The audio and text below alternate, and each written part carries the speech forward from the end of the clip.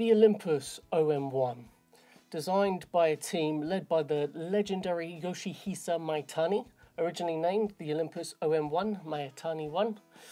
Uh, it was designated the OM1 later on due to complications. There's a lot more about the history on YouTube. Go Google other things. For me, this camera is a link to the past. My grandfather, who died before I was born, used these model cameras. So me choosing to use this camera is like a metaphorical fist bump across time to my grandfather. So the OM1 is fully manual and small for an SLR from this time period.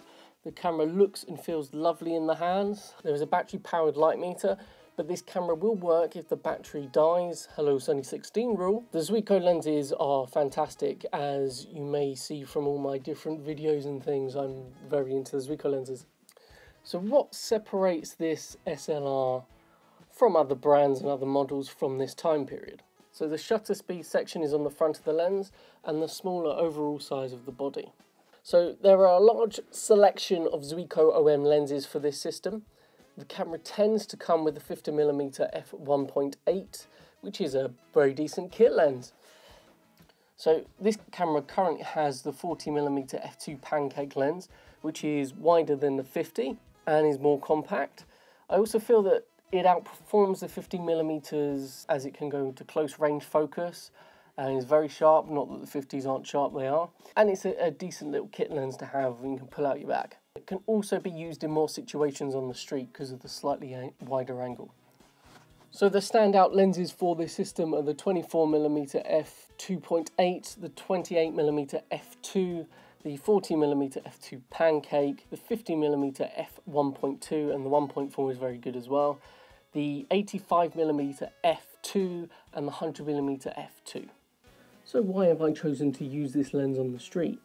This overall camera design is very lovely. So you've got the switch for the light meter, you've got the ISO dial, you've got your normal lever and just sounds lovely.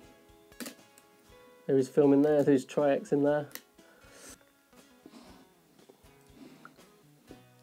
So yes, this camera means quite a lot to me. It is my favourite film camera and it is my favourite film camera and lens combination. Although it did used to be the 28mm f2 which in and of itself is a very lovely lens indeed. So I'm going to put pictures at the end of this video of photographs taken with the OM1 and the different lenses.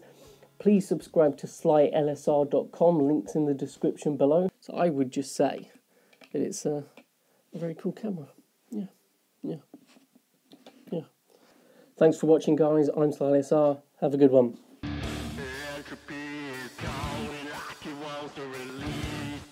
quantum, get